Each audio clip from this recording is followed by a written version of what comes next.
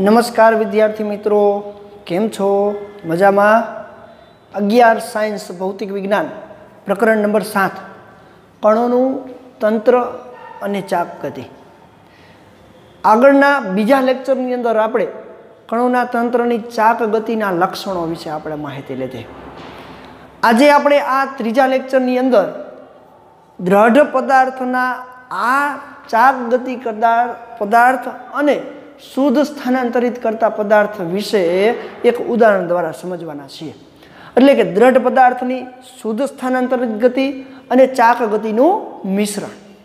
તો પ્રશ્ન તમને ત્રણ માર્ક્સની અંદર કે બે માર્ક્સની અંદર પૂછાઈ શકે કે દ્રઢ પદાર્થની શુદ્ધ સ્થાનાંતરિત ગતિ અને ચાક ગતિનું મિશ્રણ એટલે કે મિશ્રિત ગતિનું ઉદાહરણ આપી સમજાવો. તો પ્રશ્ન કંઈક આવો છે.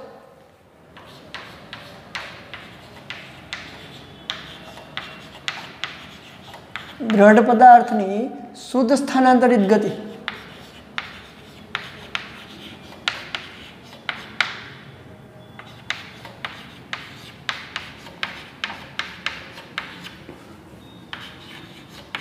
અને ચાક ગતિનું મિશ્રિત ગતિ ચાક ગતિની મિશ્રિત ગતિ. ઉદાહરણ આપી સમજાવો.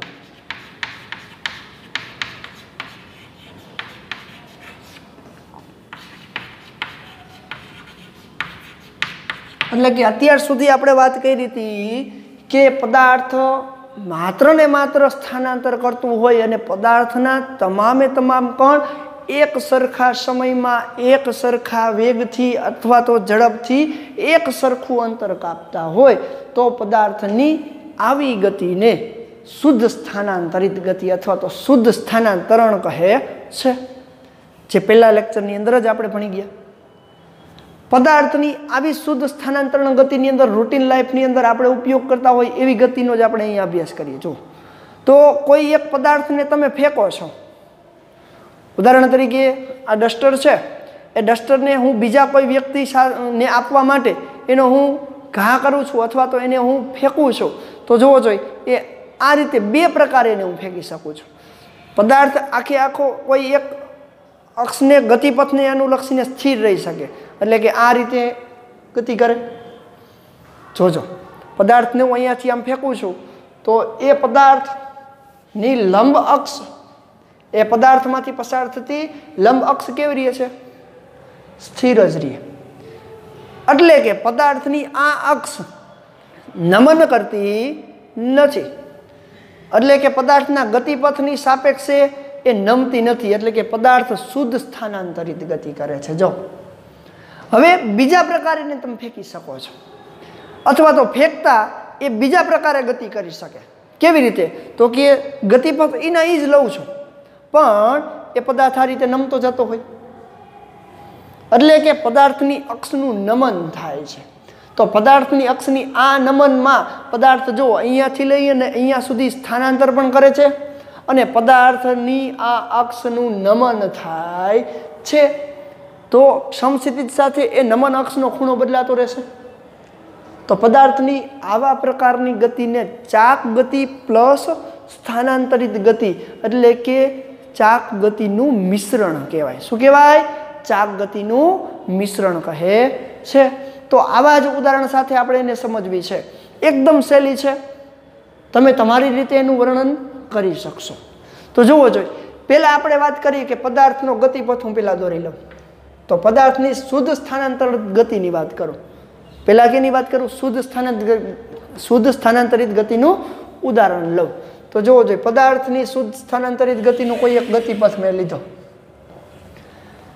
હવે કોઈ એક મગ છે, જેને આપણે જગ પણ કહી શકીએ, પાણી ભરવાનો જગ. એને હું અહીંયાથી ગતિપથની અંદર થ્રો કરવાનો છું.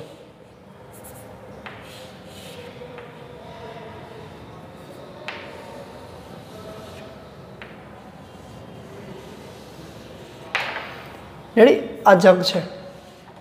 તો આ એનું પ્રારંભિક સ્થાનથી આપણે એને ફેંકવાના છીએ. તો પદાર્થની આ મગની અક્ષ અત્યારે અહીંયા છે. એ પરનું બિંદુ અહીંયા હું પી વન કહી દઉં. એટલે કે પી વન સ્થાને એ બિંદુને આપણે લીધું છે. એ સમયે આ અક્ષ સાથે આ તરફ ગતિ કરે છે.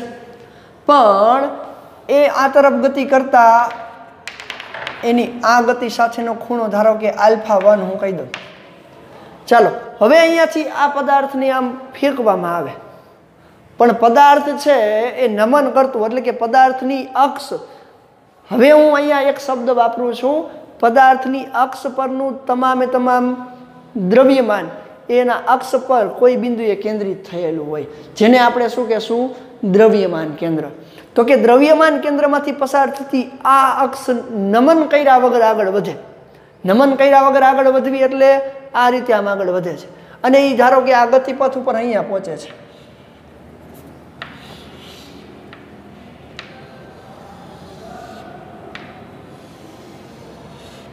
તો તમે જોઈ શકો છો કે અક્ષમાં કોઈ પણ પ્રકારનો ફેરફાર નથી થયો અને ત્યારે એ પી ટુ બિંદુએ પહોંચે. ત્યારે પણ તમે જોઈ શકો છો કે એ આ દિશામાં ગતિ કરે છે અને આ જે ખૂણો છે, આ પીનું પણ આ દિશામાં ગતિ કરે. આ પી બિંદુ અત્યારે આમ ગતિ કરશે. તો જોવો જોઈએ ગતિપથ આ બિંદુએ જે ઉગમ બિંદુને આપણે ધ્યાનમાં લેશું, તો ઓ વનની સાપેક્ષે પી વનની દિશા સમાંતર જ છે. ઓ વનની સાપેક્ષે પી વનની દિશા સમાંતર જ છે. અહીંયા પણ તમે જોઈ શકો છો કે પદાર્થની આ અક્ષ છે એ નમન કર્યા વગર આગળ વધે છે ને અહીંયા પહોંચે છે. તો ત્યાં પહોંચતાની સાથે જ અક્ષ છે એ તો લંબ જ રહેશે. તો અક્ષ સાથે આ લંબ અક્ષ સાથે બનતો ખૂણો તો એના જ રહ્યો. પણ બંને પાછા એક જ દિશામાં છે, આગળ વધે છે. એટલે કે પાછા બંને સમાંતર જ રહે છે. એટલે કે અક્ષ સાથે આ પદાર્થ આગળ વધે છે. હવે જુઓ તમે અહીં જોઈ શકો છો કે આ પી બિંદુ આમ જાય છે. આ પી બિંદુ આમ જાય છે. પાછું એનું ત્રીજું સ્થાન હું લઉં, ઓ થ્રી. ત્રીજું સ્થાન લઉં તો એ ધારો કે અહીંયા પહોંચે. ચાલો.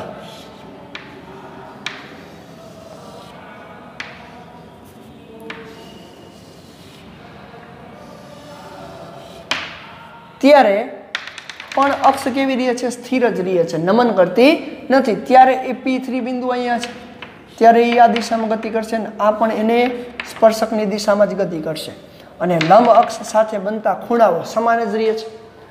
એટલે કે જ્યારે પદાર્થનો ગતિપથ ઉપર આપેલ આ પદાર્થ, દ્રઢ પદાર્થ એ નમન કર્યા વગર નમન કર્યા વગર એ ગતિપથ ઉપર આગળ જાય છે.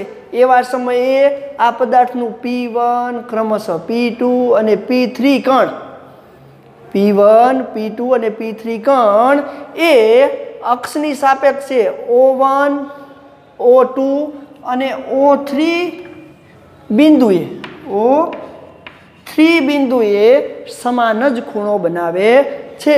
એટલે કે અહીંયા બનતો ખૂણો આલ્ફા વન, અહીંયા બનતો ખૂણો આલ્ફા ટુ અને અહીંયા બનતો ખૂણો આલ્ફા થ્રી. સમાન જ રહે તો પદાર્થના આ નમન સાથે બનતા ખૂણાઓ સમાન જ રહે છે. તો પદાર્થની આવા પ્રકારની ગતિને શું કહેવાય? શુદ્ધ સ્થાનાંતરિત ગતિ. તો ચાલો આનું વર્ણન કરી લઈએ. પછી આપણે ચાક ગતિના મિશ્રણ વિશે વાત કરશું. સામે એનું વર્ણન ટૂંકમાં પતાવી દઉં છું. તમને એની અંદર ટેક્સ્ટબુકની અંદર ઘણું બધું લાંબુ આપ્યું છે, પણ તમે તમારી રીતે વર્ણન કરી શકો છો. તો જોજો આપણે આકૃતિની અંદર શું આપ્યું છે? કે કોઈ એક ગધ દ્રઢ પદાર્થનો ગતિપથ ઓ બિંદુને અનુલક્ષીને અક્ષ પરના બિંદુ પીની સાપેક્ષે આપેલું છે.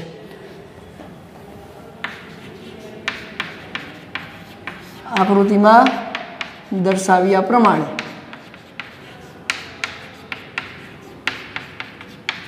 કોઈ એક દ્રઢ પદાર્થ.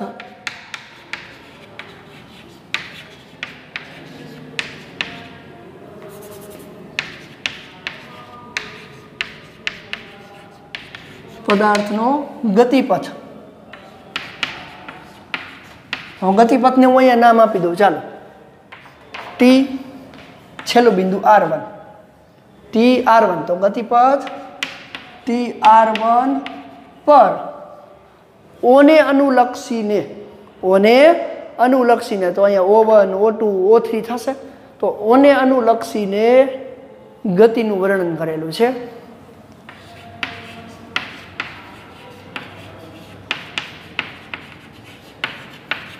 ગતિ દર્શાવેલ છે.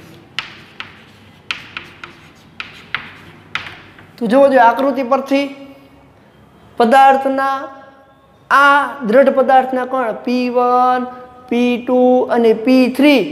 એ ઓ વન, ઓ ટુ અને ઓ થ્રીને અનુલક્ષીને સ્થિર જ રહે છે અક્ષ. આથી પદાર્થ સાથે ઓ વન, ઓ ટુ અને ઓ થ્રીને અનુલક્ષીને બનતા ખૂણાઓ આલ્ફા વન, આલ્ફા ટુ અને આલ્ફા ટુ થ્રી સમાન જ રહે. તો અહીંયા કહી શકાય કે અહીં અક્ષને અનુલક્ષીને થતી આવી ગતિ તમે જોઈ શકો. એટલે કે પદાર્થના દ્રઢ પદાર્થનો કણ અહીં દ્રઢ પદાર્થનું કણ પી વન, પી ટુ અને પી થ્રી સ્થાને અનુક્રમે ઓ વન ઓ ટુ અને ઓ થ્રી સાથે સમાન ખૂણે આગળ વધે છે. આગળ વધે છે. એટલે કે alpha one is equal to alpha two is equal to alpha three.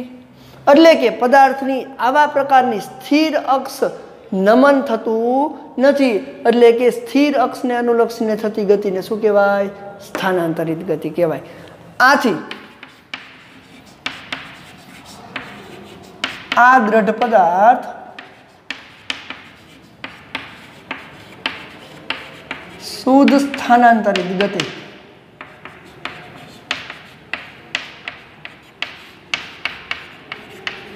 કરે છે હવે આ જ પદાર્થને બીજા ગતિપથ ઉપર હું દોરું જોઉં ગતિપથ ઇનાયિત છે. ગતિપથને નામ હવે આપી દઉં છું ટી આર ટુ. તો આ જ ગતિપથ ઉપર પદાર્થને પાછો અહીંયા હું લઉં છું અને હવે હું એને ફેંકું છું. તો જુઓ તમે જોઈ શકો છો પહેલાં પદાર્થ અહીંયા આમ હતો, પછી અહીંયા પહોંચ્યો, ત્યારે અહીંયા જ છે ને અહીંયા પહોંચ્યો, ત્યારે અહીંયા જ છે. એટલે કે પદાર્થની આ અક્ષનું કોઈ પણ પ્રકારે નમન થયું નથી. હવે એ જ પદાર્થને ફેંકવામાં આવે. તો જોવો જોઈએ હું અહીંયા દર્શાવું છું.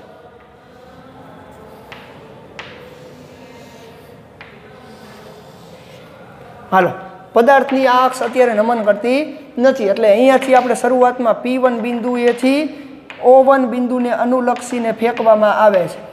રેડી તો જોવો જોઈએ પદાર્થ આ તરફ ગતિ કરે છે. રેડી ત્યારે બનતો ખૂણો આલ્ફા વન. ત્યારે બનતો ખૂણો આ આલ્ફા વન હશે. હવે એ પદાર્થ અહીંયા પહોંચે ત્યારે થોડું એવું નમન કરે છે.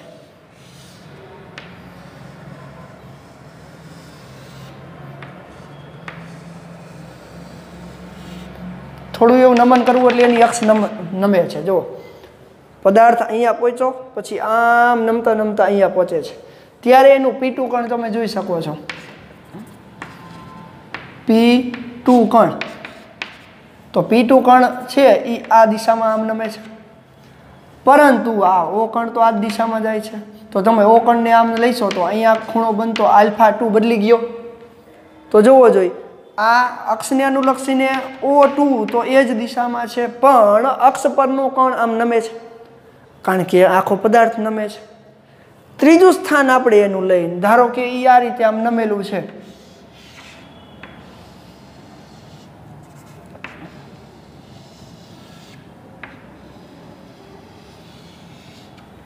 અને એ અક્ષ આટલું નમન કરે છે પાછું. પહેલાં આમ હતું, પછી નમતા નમતા અહીંયા પહોંચે છે, પછી નમતા નમતા અહીંયા પહોંચે છે. ત્યાં કોઈ એક વ્યક્તિ ખેંચે છે. એટલે કે તમે એને થ્રો કર્યું, આ ગતિપથ ઉપર ટી આર ટુ ગતિપથ ઉપર તમે એને થ્રો કરો છો, ઘા કરો છો, તો એવા સમયે પદાર્થની આવી ગતિ જોવો જોઈએ. અક્ષનું નમન થાય છે. એટલે કે પદાર્થ આ ઓ વન ઓ ટુ અને ઓ થ્રી તો ઓ તો આમ જ છે, પરંતુ અહીંયા પરનું આ બિંદુ પી થ્રી છે. એ હવે આ તરફ જવાનો કરશે. એટલે કે એનું ખરેખર નમન આ દિશામાં થાય છે. એટલા માટે આમ નમતું જાય. તો ત્યાં બનતો ખૂણો તમે જોઈ શકો છો, આલ્ફા થ્રી આવો છે. એટલે કે અહીંયા આલ્ફા વન આલ્ફા ટુ અને આલ્ફા થ્રી સમાન છે નહીં. તો જુઓ પી વન પી ટુ અને પી થ્રી ત્રણેય કણ પાસે, ત્રણેય કણ પાસે અક્ષનું નમન જોવા મળે છે અને એના કારણે પદાર્થ આ અક્ષને અનુલક્ષીને આમ ભ્રમણ કરતું હોય એવું લાગે. તો પદાર્થની આવા પ્રકારની ગતિને શુદ્ધ સ્થાનાંતરિત ગતિ પ્લસ ચાક ગતિની અંદર લઈ લ્યો. એટલે કે ટીથી આર ટુ સુધી સ્થાનાંતર પણ કર્યું અને નમન પણ કર્યું.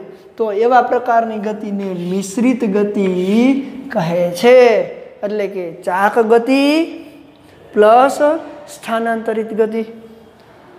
તો આનું વર્ણન તમારે કરવું હોય તો કરી શકો કે આકૃતિમાં દર્શાવ્યા પ્રમાણે કોઈ એક દ્રઢ પદાર્થનો ગતિપથ ટી આર ટુ પર ઓને અનુલક્ષીને ગતિ દર્શાવી છે.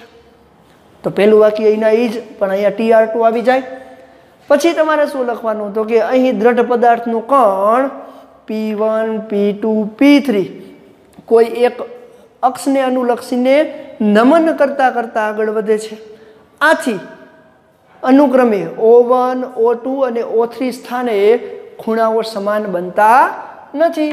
આથી કહી શકાય કે alpha one is not equal to alpha two is not equal to alpha three ખૂણાઓ સમાન બનતા નથી. એટલે કે આપેલ દ્રઢ પદાર્થ આપેલ દ્રઢ પદાર્થ. ચાક ગતિ અને સ્થાનાંતરણ ગતિ કરે છે.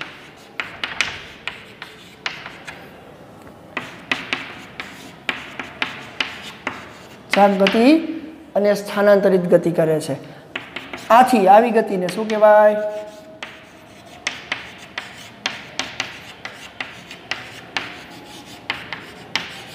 મિશ્રિત ગતિ કહેવાય. એટલે કે ચાક ગતિનું મિશ્રણ કહે છે. તો બે કે ત્રણ માર્ક્સની અંદર તમને આ પ્રશ્ન પૂછાય, તો એકદમ સરળ છે.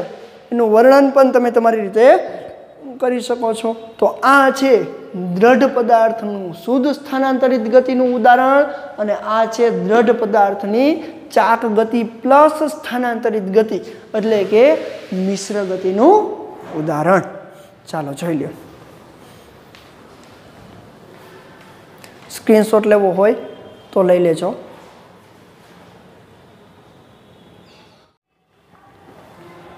ચાલો વિદ્યાર્થી મિત્રો, અત્યાર સુધી આપણે દ્રઢ પદાર્થ અને એ દ્રઢ પદાર્થની સ્થાનાંતરિત ગતિ અને ચાક ગતિ વિશે આપણે ચર્ચા કરી.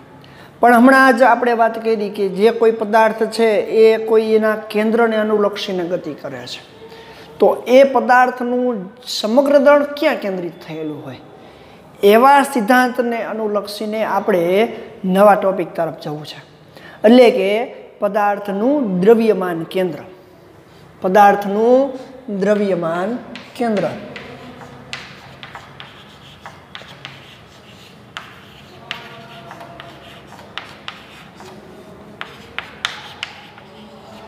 એને ઇંગ્લિશમાં સેન્ટર ઓફ માસ કહેવાય. એટલા માટે એને સી એમ વડે દર્શાવશું. ઇંગ્લિશમાં એને શું કહેવાય? સેન્ટર ઓફ માસ દ્રવ્યમાન કેન્દ્ર C M chief minister ready જ્યાં સીએમનો ઉલ્લેખ થશે, ત્યાં તમારે શું સમજવાનું છે? દ્રવ્યમાન કેન્દ્ર. તો ચાલો, સૌપ્રથમ વાત કરીએ પદાર્થનું દ્રવ્યમાન કેન્દ્ર એટલે શું? તો કે આપણે જોયું હમણાં કે પદાર્થ ગતિમાં પણ હોઈ શકે, હમણાં કોઈ પદાર્થને આપણે આવી રીતે ગતિ કરાવી. તો પદાર્થ ગતિમાં પણ હોઈ શકે ને પદાર્થ સ્થિર અક્ષને અનુલક્ષીને સ્થિર ગતિ પણ ભ્રમણ ગતિ કરતો હોય. એને આપણે ચાક ગતિ નામ આપ્યું હતું. રેડી તો આવા બે પ્રકારે પદાર્થ હોઈ શકે. તો અહીંયા આપણે વાત કરવી છે કણોના બનેલા તંત્ર માટે. કારણ કે કણોનું બનેલું તંત્ર એટલે આખો પદાર્થ. એક કણ, બીજો કણ, ત્રીજો કણ, ચોથો કણ આવા એન જેટલા કણો ભેગા મળે, ત્યારે આપણને આખે આખો એક પદાર્થ મળે છે. અને એ પદાર્થને અત્યારે આપણે દ્રઢ પદાર્થ તરીકે સ્વીકારીએ છીએ. તો આવા કણોના બનેલા તંત્ર માટે આપણે દ્રવ્યમાન કેન્દ્રને વ્યાખ્યાયિત કરવાનું છે. તો દ્રવ્યમાન કેન્દ્ર એટલે શું? પહેલાં તો એની વ્યાખ્યા સમજીએ. દ્રવ્યમાન કેન્દ્ર એટલે શું? તો કે કણોનું બનેલું તંત્ર કે દ્રઢ પદાર્થ? કણોનું બનેલું તંત્ર કે દ્રઢ પદાર્થ સ્થિર હોય કે ગતિમાં હોય? સ્થિર હોય કે ગતિમાં હોય ત્યારે એ તંત્રનું સમગ્ર દળ, એ તંત્રનું સમગ્ર દળ જે બિંદુએ કેન્દ્રિત થયેલું હોય તે બિંદુને આપેલ કણોના તંત્રનું કે પદાર્થનું? આપેલ બનેલા કણોના તંત્રનું કે પદાર્થનું દ્રવ્યમાન કેન્દ્ર કહે છે. યાદ રહ્યું હશે નહીં. તમને યાદ રહ્યું હશે નહીં. હજી એકવાર.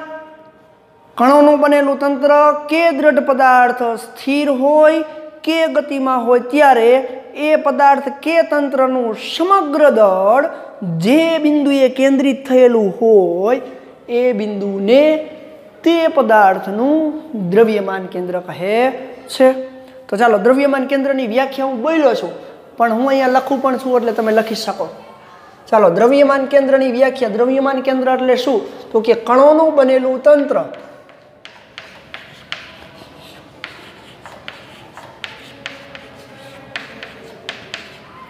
તંત્ર. કે પદાર્થ? કારણ કે અહીંયા તંત્ર એટલે પદાર્થ જ થશે. ઘણા બધા કણો ભેગા થઈ અને એક તંત્ર જ બનાવે છે, એક પદાર્થ જ બનાવે છે. કણોનું બનેલું તંત્ર કે પદાર્થ સ્થિર હોય કે ગતિમાં હોય ત્યારે?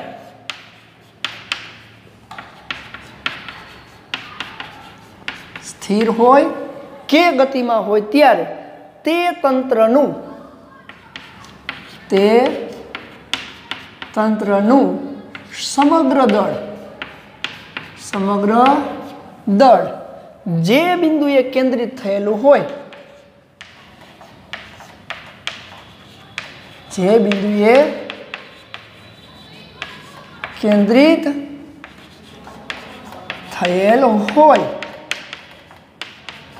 તે બિંદુને તે બિંદુને આપેલ કણોના તંત્રનું આપેલ કણોના તંત્રનું દ્રવ્યમાન કેન્દ્ર કહે છે. દ્રવ્યમાન કેન્દ્ર કહે છે. દ્રવ્યમાન કેન્દ્ર એટલે શું? તો તમે હવે સરળતાથી બોલી શકો કે કણોનું તંત્ર સ્થિર હોય કે ગતિમાં હોય ત્યારે તેનું સમગ્ર દળ જે બિંદુએ કેન્દ્રિત થયેલું હોય એ જ બિંદુને આપેલ પદાર્થનું અથવા કણોના તંત્રનું દ્રવ્યમાન કેન્દ્ર કહે છે. તો પ્ર, પેલો જ પ્રશ્ન આપને દ્રવ્યમાન કેન્દ્ર વિશે પૂછાય કે દ્રવ્યમાન કેન્દ્ર એટલે શું? એક પરિમાણમાં પદાર્થનું દ્રવ્યમાન કેન્દ્રનું સૂત્ર લખો અને એ કણોનું દ્રવ્યમાન કેન્દ્રનું સૂત્ર મેળવો. તો પહેલાં આપણે વાત કરવી છે એક પરિમાણમાં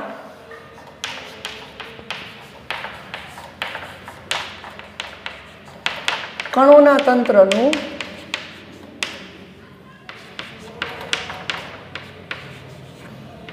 દ્રવ્યમાન કેન્દ્ર. તો અહીંયા દ્રવ્યમાન કેન્દ્ર છે. એક એવી ભૌતિક રાશિ છે કે એની પાસે દળ ન પણ હોય, કારણ કે એક અંતર પર આધારિત રાખશે. એ હમણાં આપણે જોઈએ. તો પેલો પ્રશ્ન આપણો છે કે દ્રવ્યમાન કેન્દ્ર એટલે શું? એક પરિમાણમાં કણોના તંત્રનું દ્રવ્યમાન કેન્દ્રનું સૂત્ર. એક પરિમાણ એટલે એક જ અક્ષ. એક પરિમાણ એટલે એક જ અક્ષ ઉપર. એક પરિમાણ દ્વિપરિમાણ અને ત્રિપરિમાણ આપણે જોવાના છીએ. એમાં પહેલો પ્રશ્ન એક પરિમાણમાં તો જુઓ, આકૃતિ હું અહીંયા દોરું છું. દોર્યું છે બંને અક્ષ, પણ અહીંયા એક અક્ષને અનુલક્ષીને, એટલે અહીંયા એક્સ અક્ષ જ લેશું. તો એક્સ અક્ષને અનુલક્ષીને વાત કરીએ, તો ઉગમ બિંદુની સાપેક્ષે કોઈ એક કણ, અહીંયા બે કણના દ્રવ્યમાન કેન્દ્રનું બે કણોના દળનું દ્રવ્યમાન કેન્દ્ર અહીંયા વાત કરીશ. પછી એન કણો સાથે સાંકળી દઈશ. તો જોવો જોઈએ અહીંયા કોઈ એક કણ હું લઉં છું. એ કણનું દ્રવ્યમાન એમ વન છે. એમ વન કણના દ્રવ્યમાન ઉગમ બિંદુની સાપેક્ષે એક્સ વન જેટલું સ્થાન સદિશ ધરાવે છે. બીજું કણ હું અહીંયા એમ ટુ લઉં છું. એમ ટુ દળનું આ દળ ઉગમ બિંદુની સાપેક્ષે એક્સ ટુ જેટલું સ્થાન સદિશ ધરાવે છે, તો એમ વન અને એમ ટુ દળ ધરાવતા બે કણોના એક પરિમાણમાં દ્રવ્યમાન કેન્દ્રનું સૂત્ર આપણે લખવું છે. તો જોવો જોઈએ, આકૃતિમાં દર્શાવ્યા પ્રમાણે.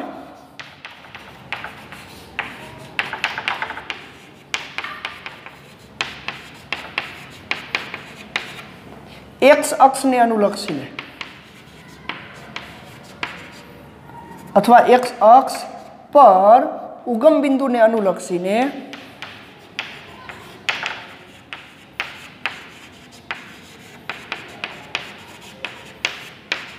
એમ વન અને એમ ટુ. બે કણોના સ્થાન સદીશ. અથવા તો સ્થાન. અનુક્રમે એક્સ વન અને એક્સ ટુ છે. તો એમ વન અને એમ ટુ દળ ધરાવતા આ બે કણોના દ્રવ્યમાન કેન્દ્રનું સૂત્ર. તો યાદ રાખજો, આ સૂત્રની સાબિતી નથી, આપણે સૂત્ર યાદ રાખવાનું છે. તો આથી એમ વન અને એમ ટુ દળ ધરાવતા બે કણોનું દ્રવ્યમાન કેન્દ્ર. તો ચાલો, દ્રવ્યમાન કેન્દ્રની એક્સ અક્ષને અનુલક્ષીને એક પરિમાણમાં છે, એટલા માટે એને બે સંજ્ઞા વડે દર્શાવી શકીશ. એક તો એક્સ અથવા તો એને આર સી એમ કહેવાય. આર સી એમ એટલે શું? તો કે એક્સ સીએમ અથવા આર સીએમ પણ કહી શકાય. એક્સ અક્ષનું સેન્ટર ઓફ માસ એક્સ અક્ષ પરનું સેન્ટર ઓફ માસ અથવા આરસીએમ એટલે ત્રણ ત્રિપરિમાણમાં આપણે ત્યારે આરસીએમ લેશું. રેડી એક્સ અક્ષ પરનું એનું દ્રવ્યમાન કેન્દ્ર કેટલું હશે? તો કે બરાબર M one X one M one ગુણ્યા એક્સ વન વત્તા એમ ટુ ગુણ્યા એક્સ ટુ છેદમાં કુલ દળ એમ વન વત્તા એમ ટુ. આ છે બે અલગ અલગ દ્રવ્યમાન ધરાવતા કણોનું દ્રવ્યમાન કેન્દ્રનું સૂત્ર. તો એ ક્યાં હોઈ શકે? તો એ દ્રવ્યમાન કેન્દ્રનું સૂત્ર એ અહીંયા ક્યાંક હોઈ શકે? અને એ આપણા માટે આરસીએમ છે. અને ત્યાં દળ હોવું જરૂરી નથી. આરસીએમ અથવા એક્સસીએમ. તો આ છે બે અલગ અલગ દળ ધરાવતા બે કણોના એક પરિમાણમાં દ્રવ્યમાન કેન્દ્રનું સૂત્ર. હવે આપણે ધારી લઈ ધારો કે બંને કણોના દળ સમાન છે. તો એમ વન બરાબર, એમ ટુ બરાબર, એમ લખી શકાય. તો જોવો જોઈએ, X C M is equal to શું થશે? અહીંયા એમ ઇન્ટુ એક્સ વન વત્તા એમ ઇન્ટુ એક્સ ટુ છેદમાં એમ વત્તા એમ. જ્યાં એમ વન એમ ટુ હતા, અહીંયા બધે એમ આવી ગયા. તો શું થાય જુઓ તો આમાંથી એમ કોમન નીકળે. ઉપરમાંથી એમ કોમન નીકળશે, વધશે શું? એક્સ વન વત્તા એક્સ ટુ, નીચે ટુ એમ. એમ એમ ઉડી જાય, વધે શું? એક્સ વન વત્તા એક્સ ટુના છેદમાં બે. એનો મિનિંગ એવો થાય કે બે સમાન દળ ધરાવતા કણોનું દ્રવ્યમાન કેન્દ્ર એને જોડતી સુરેખા પર મધ્ય બિંદુમાં હોય. એટલે કે બંને વચ્ચેના અંતરથી એક્ઝેટ વચ્ચે હશે. તો આના પરથી કહી શકાય કે આથી સમાન દળ ધરાવતા, સમાન દળ ધરાવતા બે કણોનું બે કણોનું દ્રવ્યમાન કેન્દ્ર. તેમને જોડતી તેમને જોડતી સુરેખા પર અથવા સુરેખાના મધ્ય બિંદુ પર હોય છે. એટલે કે અહીંયા દોરું. તો ધારો કે આ બે કણ છે, એમ વન અને એમ ટુ. બંનેનો દળ સમાન છે, એમ વન બરાબર એમ એમ ટુ બરાબર એમ. તો આનું દ્રવ્યમાન કેન્દ્ર એક્ઝેટ વચ્ચોવચ હશે. ક્યાં હશે? એક્ઝેટ વચ્ચોવચ. એટલે કે બે સમાન દળ ધરાવતા પદાર્થોનું અથવા તો કણોનું દ્રવ્યમાન કેન્દ્ર એને જોડતી સુરેખા પર મધ્ય બિંદુએ હોય. એટલે કે એક્સ વન વત્તા એક્સ ટુના છેદમાં બે. કારણ કે દળ દળ તો ઉડી જાય છે, સમાન દળ છે એટલામાં. તો આ છે એક પરિમાણમાં કણોના બલેના તંત્રના બે કણોનું દ્રવ્યમાન કેન્દ્ર. પણ એન કણોનું દ્રવ્યમાન કેન્દ્ર જોતું હોય તો તો એન જેટલા કણો એક શખ્સ ઉપર લઈ લ્યો. એન જેટલા કણો એક શખ્સ ઉપર લઈ લ્યો, તો તમને એન જેટલા કણોના બનેલું દ્રવ્યમાન કેન્દ્ર. હવે એ એન જેટલા કણોના બનેલું દ્રવ્યમાન કેન્દ્ર એ આપણે દ્વિપરિમાણની વાત કરશું, ત્યારે હું તમને લખાવીશ. તો આ છે દ્રવ્યમાન કેન્દ્ર એટલે શું? એક પરિમાણમાં બે કણું દ્રવ્યમાન કેન્દ્ર.